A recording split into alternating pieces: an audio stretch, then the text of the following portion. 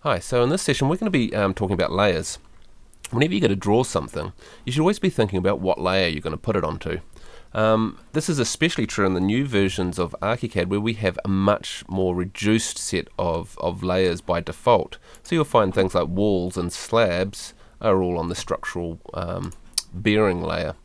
Um, now this will come back to haunt you because if you go and just draw all your walls, you could be changing all the settings and sort of carry on. Eventually when you go to um, do all your documentation, you're going to want to, for example, turn off internal walls. Um, and if you haven't put them onto their own layers, that can be a very difficult process. Um, there is other advantages as well as using the layers because um, we've got some really amazing controls of this. So let's have a look in here. So if you go Command L or Control L on the PC, you'll bring up the layers. Um, I am assuming it's in here somewhere. I must admit, I get so used to the keyboard shortcuts um, that I forget where this stuff actually is. Oh, here we go, layers. Here we go, layers, model view. So document layers, layers and the model view. Here we go. So here's all of our layers. Now, yes, as I was saying, um, there's a much more reduced number of layers, which actually I, I, kind of appreciate because there used to be a massive list of layers in here by default. Um, now you can see that was the one that we created, although I did put three L's in there by accident. Um, so um, we can create our own layers, um, and I highly recommend you do this. On the left hand side here we have layer combinations. These are also very handy. If we go and use a layer combination um, in a saved view for example, we can update our layer combinations um, with some new layers that we've switched on and our saved views will update as well. This is incredibly important when you get to the documentation stage and someone wants extra things added to it. Um, and if that ended up on, on another layer, um, you could just update the, the layer combinations and it will speed up your, your workflow immensely. Um, it's horrible when you end up in a situation where you've got to go through your entire drawing selecting trees and putting them onto the trees layer and chairs and putting them on the chairs layer and interior walls and putting them on the interior. It's, it's, a horrible process. So try to get into the habit of always putting things on the correct layers to begin with. Now you might want to at the beginning of your um, of setting up your drawing actually go through and set up these layers. Um, or even better would be that you have um, a template that you've created or you know, your CAD technician has created um, with a whole bunch of default layers um, that you could then use. So um, let's just have a look here. So what we're going to do is we're going to um, set up a new layer. So we just go Command L or Control L. I'm going to set up a new layer and I'm going to call it um, floors. Okay, so we go OK and we've got a new one called floors. Notice there is an extension here as well. Um, I'm not sure if there's an official way that you should be using extensions, um, but what I've um, used it in the past is just to help sort of group things together.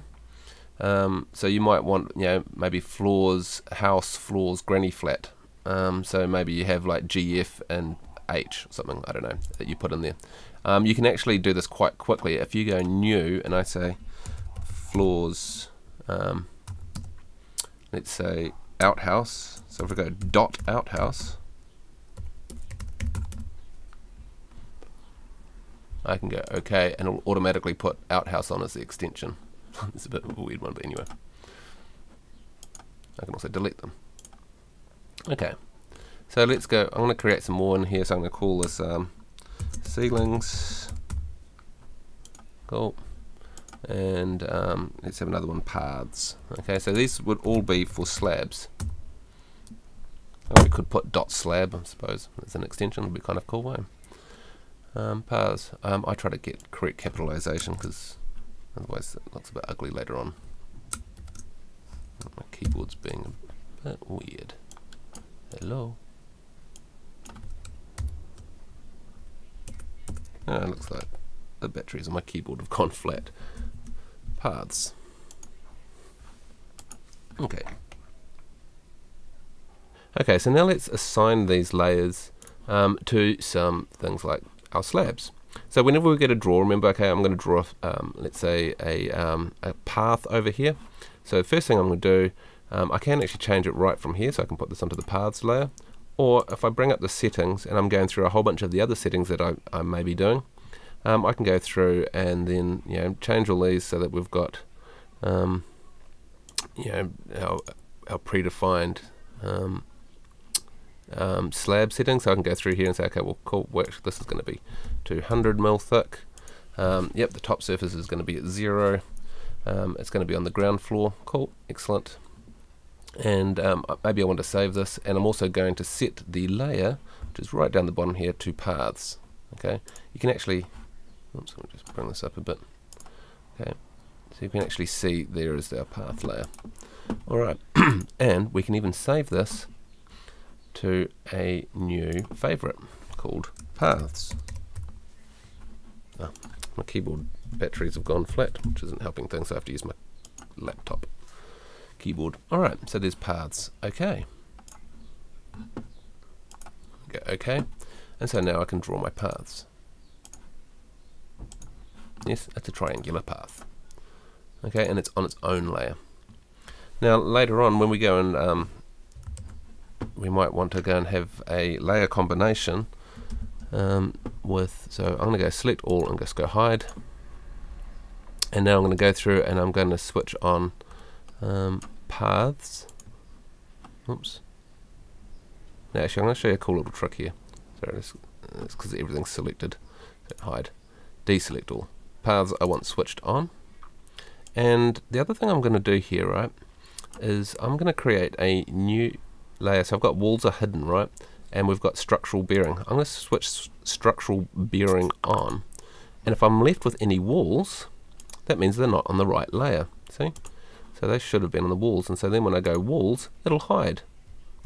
Okay, so that way I can just check if I've got left anything on that structural um, bearing layer.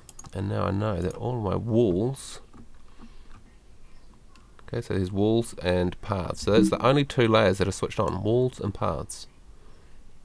Okay, and I'm going to create a new co layer combination called walls and paths. Ah. Walls and paths. Let's go and find some batteries for my keyboard. Alright, okay, and so that is now saved everything. So now if I want to go and switch on all my layers for example, so I can go all layers off and then switch it so that I've got all my layers on. Um, I can bring up that layer combination just simply by going, yep, just you, thanks. And go OK, and everything else disappears except for my walls and my paths. Awesome. Um, we will see this later on when we're going to save our views. Okay, so here's some of the, the, the views that I saved um, before. If I go and open up that settings, if I right click on here I can go view settings and I could actually say use the layer combination walls and paths. Alright. Okay, and if I go and um, add any other elements to this, so if I went, okay, well actually I'm going to draw a slab and it's going on the floors layer. Cool. Ah, you've, got this layer hidden at the moment. That's all good show me the layer. Cool, so here's my floors layer. There's nothing on the floors layer yet because I've only just created it. Okay. Now, if I was to open up Courtyard, so if I double click on it, you'll notice that um, that layer disappears. Okay. So, what are we going to do? Because we want floors on this. So, if I go to our layers, what I'm going to do is I'm going to select walls and paths, but now I'm going to switch floors on, and I'm going to update our layer combination, hit OK, and it appears. Now, if I go all, here's all. Now, all was actually created um, before those layers were created. So, um, I'm going to talk about that in a second. If we go to Courtyard, though, you'll see that floors are now included in it. So I didn't have to do anything to update Courtyard. Um, but obviously I have to do something to update all. Um, let's just go and have a look at the view settings on here. So the layer combination is custom. Okay, we don't actually have an all layers combination. So let's create one. So again, we're going to go Command L or Control L. I'm going to go Select All, Show, and make a new layer combination called All. Alright.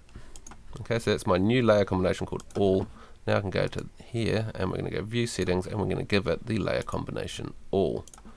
So, what does that mean? Well, it means I can now, you know, flip between these two. I can go back to all and all layers would be visible. However, if I create any new layers, I need to update all. Okay, even though I've called it all, it doesn't mean that it's all, it's just whatever I um, happen to create at the time. So if I go and create a new layer called um, retaining, oh. I'm sure you're having a good old laugh at me um, using the wrong keyboard all the time. Retaining, now I need to update the all combination, so I can click on all and go update, okay, and so now all has retaining on it. Awesome. I'm going to leave it there. Um, but hopefully now you've got a really good understanding of layers um, and how to use them um, in ArchiCAD. Till next time.